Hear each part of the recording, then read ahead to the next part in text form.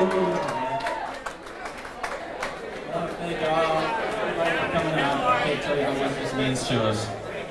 Uh, I know people came from all over, and uh, believe me, this this makes my last 10 years.